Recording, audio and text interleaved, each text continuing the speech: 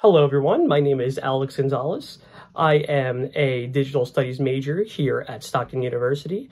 It is my second semester as I am a transfer from Rowan College of South Jersey. I am a sophomore and I want to earn a degree.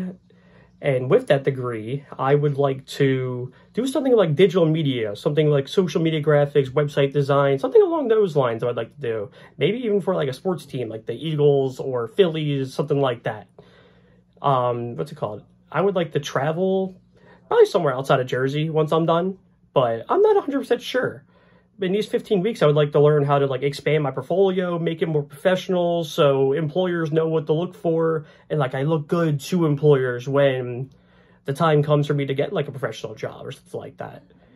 And another fun fact about me is I am a bowler. I do that as a hobby. I have bowled three different perfect games in my life. I like to go outside. I love the boardwalk. I love the beach, hanging with friends stuff like that. I just really, really, really enjoy just being outside in general. And then for my favorite music band singer, um, it would have to be 21 Pilots. I, I've loved them for about 10 years now, and it's just, it never gets old. And thank you. I hope to meet you all this semester and learn more about all of you.